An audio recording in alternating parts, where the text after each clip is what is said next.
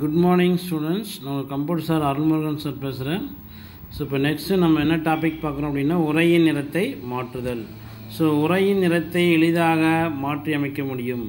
நம்ம உரையுடைய நிறத்தை நம்ம வந்து ஈஸியாக நம்ம என்ன பண்ணலாம் அப்படின்னு பார்த்தீங்கன்னா வந்து மாற்றி அமைச்சுக்கலாம். நம்ம என்ன கலர் வேணுமோ நம்ம அந்த கலரில் உரை வந்து மாற்றிக்கலாம் ஸோ கருப்பு நிறம் அல்லாமல் மற்ற நிறங்களை பயன்படுத்தும் போது பார்ப்பதற்கு அழகாக இருக்கும். நம்ம வந்து ஜென்ரலாக பார்த்தீங்கன்னா எழுத்துக்கள் வந்து பார்த்திங்கன்னா கருப்பு நிறத்தில் தான் இருக்கும். ஸோ நம்ம மற்ற நிறத்தில் பார்த்தா வந்து பார்ப்பதற்கு அழகாக இருக்கும். நம்ம வேறு கலரில் நம்ம வந்து மாற்றிக்கலாம் பார்த்திங்கன்னா நம்மளுடைய டைட்டில்லாம் பார்த்திங்கன்னா நம்ம வந்து வெவ்வேறு கலரில் இருக்குது ஸோ அதுதான் வந்து எப்படி நம்ம வேணுங்கிற கலர் வந்து நம்ம மாற்றிக்கலாம் ஃபஸ்ட்டு என்ன பார்த்தீங்கன்னா வண்ணமிட வேண்டிய உரையை தேர்வு செய்ய வேண்டும். ஃபஸ்ட்டு நம்ம எந்த உரைக்கு நம்ம வந்து வண்ணமிட வேண்டும் அப்படின்னு பார்க்கணும். ஸோ ஃபார் எக்ஸாம்பிள் பார்த்தீங்கன்னா இதில் பார்த்தீங்கன்னா கம்ப்யூட்டர் கிளாஸிஃபிகேஷன் அப்படிங்கிற ஒரு உரை இருக்குது இதை நம்ம ஃபஸ்ட்டு என்ன பண்ணோம்? இந்த உரையை வந்து முதலில் வந்து நம்ம தேர்ந்தெடுக்க வேண்டும்.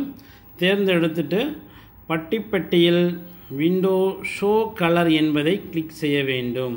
பார்த்தீங்கன்னா பட்டிப்பட்டி பார்த்தீங்கன்னா வந்து சொல் இதான் வந்து பட்டிப்பட்டி மெனு பாரில் பார்த்தீங்கன்னா நம்ம வந்து விண்டோ அப்படின்னு ஒரு மெனு இருக்குது அதில் பார்த்தீங்கன்னா ஷோ கலர் அப்படின்னு இருக்கு இல்லையா? என்பதை தேர்வு செய்ய வேண்டும். ஷோ கலர் என்பதை தேர்வு செய்ய வேண்டும். ஸோ இப்பொழுது கலர் பேலட் தோன்றும். ஸோ இதுதான் வந்து கலர் பேலட் ஸோ இதில் பார்த்தீங்கன்னா நம்ம வந்து டிஃப்ரெண்ட் கலர்ஸ் இருக்குது நம்ம என்ன கலர் வேணுமோ அந்த கலர் வந்து நம்ம வந்து செலக்ட் பண்ணிக்கலாம். அதில் தேவையான வண்ணத்தை கிளிக் செய்ய வேண்டும். எழுத்துக்கள் நாம் தேர்ந்தெடுக்க வண்ணத்திற்கு மாறி இருக்கும். இது பார்த்திங்கன்னா நம்ம வந்து ஒரு கலரை செலக்ட் பண்ணோம் அப்படின்னா பார்த்திங்கன்னா நம்ம கம்ப்யூட்டர் கிளாஸிஃபிகேஷன் அப்படிங்கிற ஒரு வேர்ட் பார்த்திங்கன்னா நம்ம வந்து கலரில் மாறிடுச்சு. ஸோ இது மாதிரி தான் நம்ம வந்து கலர் வந்து நம்ம வந்து மாற்றிக்கலாம் ஸோ அதுக்கு நம்ம என்ன யூஸ் பண்ணணும்னு பார்த்தீங்கன்னா வந்து மெனு பாரில் விண்டோன்னு ஒரு மெனுவில் போயிட்டு ஷோ கலர் அப்படின்னு கொடுத்தோன்னா ஸோ கலர் பேலட் டிஸ்பிளே பண்ணோம். அதில் ஏதோ ஒரு கலர் கொடுத்துட்டா நம்ம அந்த கலர் வந்து சேஞ்ச் ஆகிடுதில்ல ஸோ ஓகே நெக்ஸ்ட்டு பார்த்தீங்கன்னா நம்ம வந்து வரைபடம்.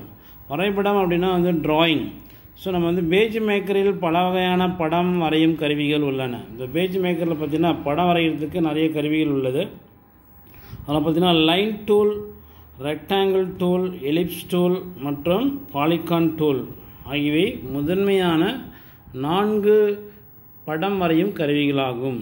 ஸோ முதன்மையான படம் வரையும் கருவிகள் யாவை அப்படின்னு கேட்டாங்கன்னா இந்த நாலு டூல் எழுதணும் நம்ம வந்து ஸோ முதன்மையான ஒன் மார்க் கொஷினில் கேட்பாங்க முதன்மையான டேஸ் படம் வரையும் முதன்மையான கருவிகள் அப்படின்னு கேட்டோம்னா எத்தனை கேட்டாங்கன்னா நான்கு. இந்த நான்கு படம் வரையும் முதன்மையான கருவிகள் என்னென்ன இருக்குதுன்னு பார்த்தீங்கன்னா line tool rectangle tool ellipse tool polygon tool so அடுத்தது பார்த்தீங்கன்னா எப்படி வந்து கோடுகள் வரைய வேண்டும்? ஒரு கோடு எப்படி வரையணும்னு பார்த்தீங்கன்னா நம்ம வந்து ஸோ பேஜ் மேக்கரில் இரண்டு வகையான கோடு வரையும் கருவிகள் உள்ளன. நம்ம பேஜ் மேக்கரில் பார்த்தீங்கன்னா வந்து இரண்டு வகையான கோடு வரைகிறதுக்கான கருவிகள் இருக்குது ஸோ அதில் என்னென்னா பார்த்தீங்கன்னா வந்து ஒரு கருவி எந்த திசையிலும் நேர்கோடு வரைய பயன்படுகிறது. பார்த்தீங்கன்னா நம்ம வந்து நேர்கோடு வந்து எந்த திசையிலனா நம்ம வந்து வரையலாம். மற்றொரு கருவி ஃபார்ட்டி ஃபைவ் டிகிரி கோண அளவில் மட்டுமே நேர்கோடு வரைய பயன்படுகிறது. ஸோ இன்னொரு கருவி பார்த்திங்கன்னா வந்து ஃபார்ட்டி ஃபைவ் டிகிரியில் தான் வந்து வரைய முடியும். ஸோ அந்த கருவிகள் மீது இருமுறை கிளிக் செய்து அதன் பண்புகளை மாற்றலாம். ஸோ நம்ம வந்து பண்புகளை மாற்றணும் அப்படின்னா நம்ம வந்து அந்த டூலில் வச்சு அந்த கருவியின் மீது வச்சு இருமுறை கிளிக் செய்யணும். டபுள் கிளிக் பண்ணோம் அப்படின்னா பண்புகளை வந்து மாற்றலாம். ஒரு நேர்கோடு வரைய. எப்படி வந்து ஒரு நேர்கோடு வரையணும் அப்படின்னு பார்த்தீங்கன்னா நம்ம வந்து ஸோ கருவிப்பட்டியிலிருந்து லைன் டூலை தேர்ந்தெடுக்க வேண்டும். ஸோ நம்ம வந்து கருவிப்பட்டி இருக்கு இல்லையா? ஸோ இதுதான் வந்து கருவிப்பட்டி. இதில் பார்த்திங்கன்னா லைன் டூல் வந்து தேர்ந்தெடுக்க வேண்டும். சுட்டுக்குறியானது கிராஸ் கேர் ஆக மாறும். இப்போ பார்த்திங்கன்னா வந்து அந்த சுட்டுக்குறி வந்து பார்த்திங்கன்னா வந்து கிராஸ் கேர் மாறிடுது திரையில் தேவையான இடத்தில் கிளிக் செய்து இழுக்க வேண்டும். நம்ம திரையில் வந்து ஸ்க்ரீனில் வேணுங்கிற இடத்துல வச்சு கிளிக் பண்ணி அப்படியே வந்து ட்ராக் பண்ணணும். சுட்டியை அழுத்துவதை விட்டுவிட வேண்டும். ஒரு கோடு வரையப்பட்டு தேர்ந்தெடுக்கப்பட்டிருக்கும். அந்த கோட்டின் இருபுறமும் அதன் அளவை மாற்றக்கூடிய கைப்பிடிகள் இருக்கும்.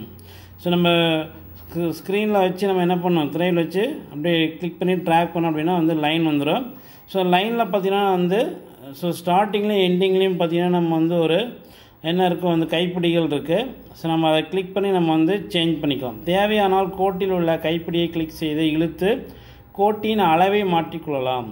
இந்த கோட்டோட அளவை வந்து நம்ம மாற்றிக்கொள்வதற்கு இந்த கைப்பிடிகள் இருக்குது பார்த்தீங்கன்னா வந்து ஆரம்பத்தில் ஒன்று இருக்கும் லாஸ்ட்டில் ஒன்று இருக்கும். அதை நம்ம கிளிக் பண்ணி இதனுடைய அளவை வந்து நம்ம என்ன பண்ணலாம்?